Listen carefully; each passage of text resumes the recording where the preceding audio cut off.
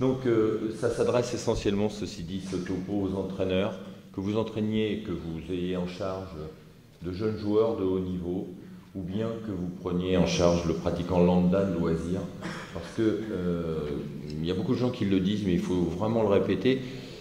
Quand on démarre le golf, ce qui est important, c'est que les gens ne s'arrêtent pas, et une des raisons pour lesquelles ils s'arrêtent sont des douleurs ostéo-articulaires, et les deux localisations les plus fréquentes, en particulier chez les joueurs amateurs, sont le dos, dont nous avions parlé l'an dernier, et l'épaule. Alors, est-ce que c'est fréquent la pathologie de l'épaule Chez le golfeur, chez les amateurs, 12% des blessures environ.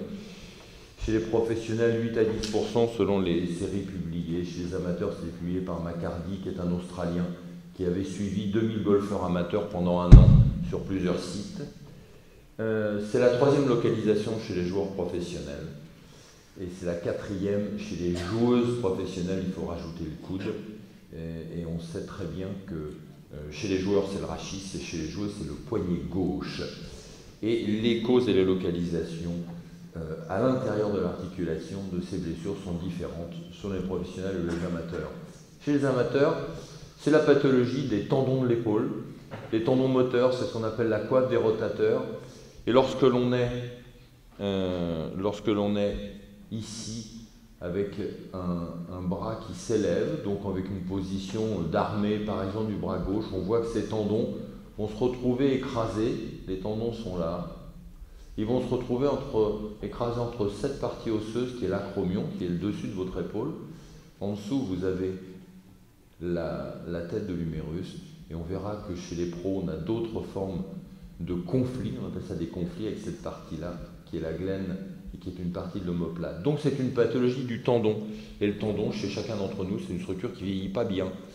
L'os, ça vieillit beaucoup mieux. Le tendon, ça vieillit pas bien. Le cartilage, ça vieillit pas bien. Le ligament, ça vieillit plutôt bien. Donc, on a cette notion de tendinite, et on dit plutôt tendinopathie. Et est-ce que, comme on le sous-entend souvent, l'inflammation est la cause première? Pas du tout. L'inflammation contenue dans tendinite, dans le hit, c'est la conséquence. Tous les tendons réagissent de la même façon en pathologie microtraumatique. La pathologie microtraumatique, c'est un geste répété, comme dans le golf, puisqu'on cherche à répéter.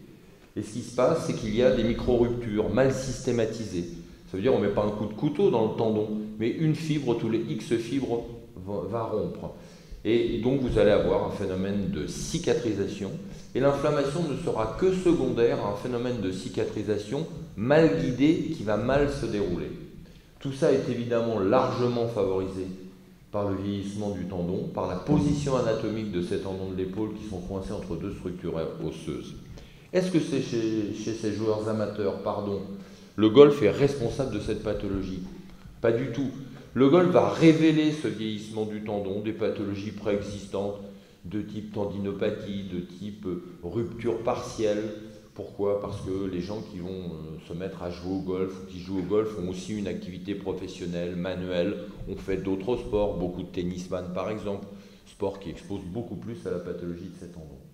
Donc on révèle simplement euh, une pathologie préexistante et on la révèle pourquoi? Parce qu'on fait des erreurs mécaniques et ces erreurs mécaniques sont liées à des fautes techniques et c'est là où vous intervenez tous ceux qui enseignent à ces joueurs amateurs parce que si vous supprimez ces fautes techniques, les erreurs mécaniques seront supprimées et donc les joueurs n'auront pas les douleurs et pourront continuer à pratiquer, c'est notre but à tous. Donc chez les amateurs, vous avez ici, euh, euh, on, parle de l'overswing, ce joueur est gaucher.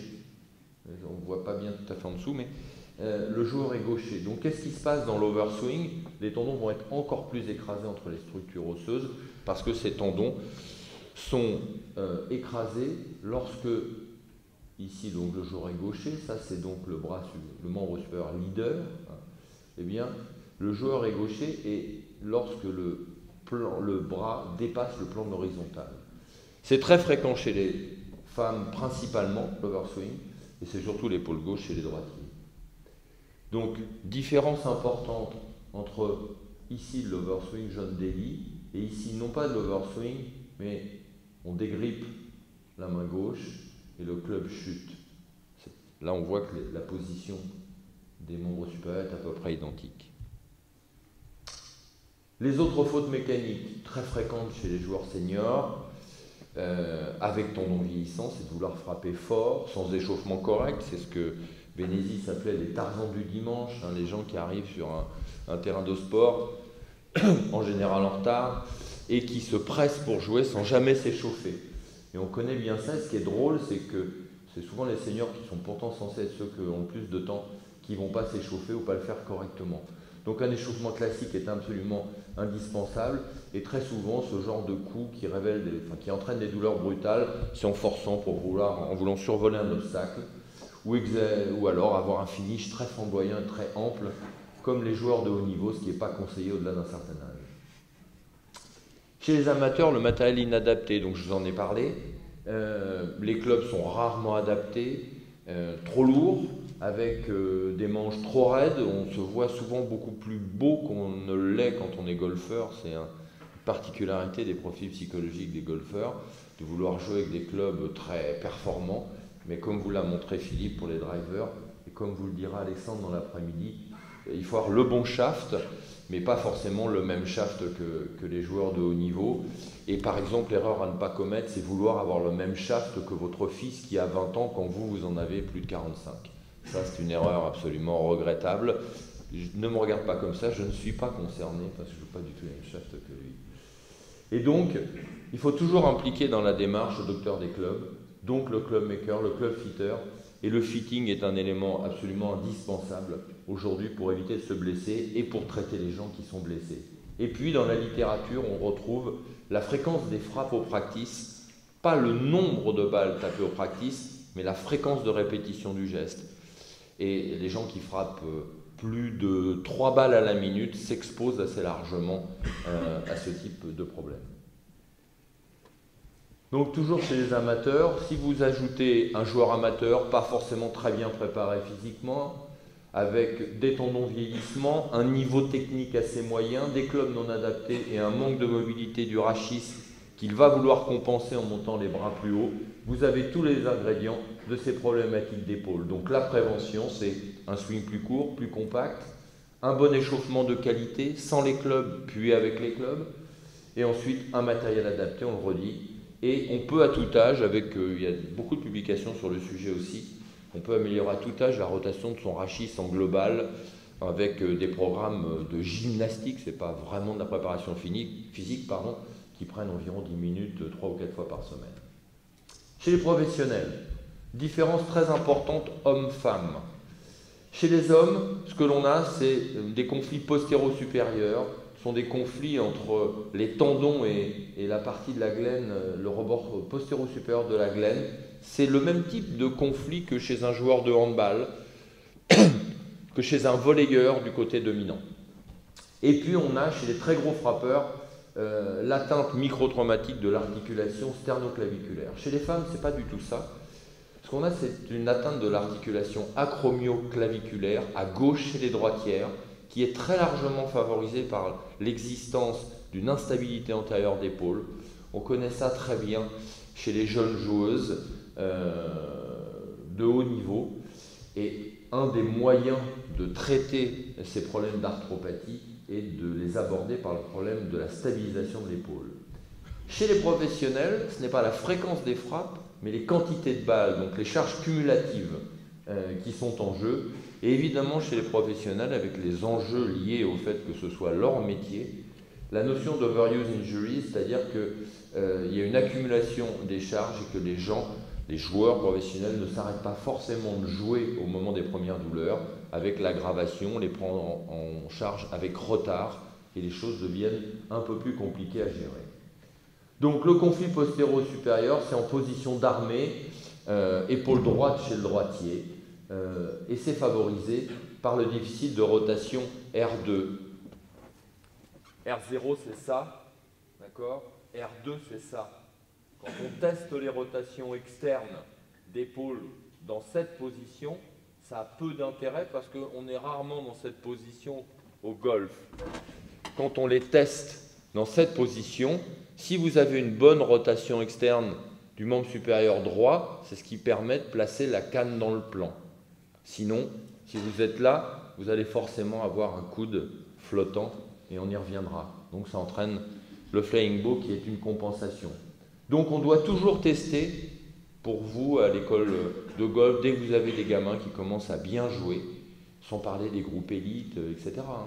Il faut tester ces rotations externes d'épaule dans cette position-là et s'assurer que les gamins sont capables globalement de mettre les pouces à la hauteur de la partie postérieure des épaules, sans tricher.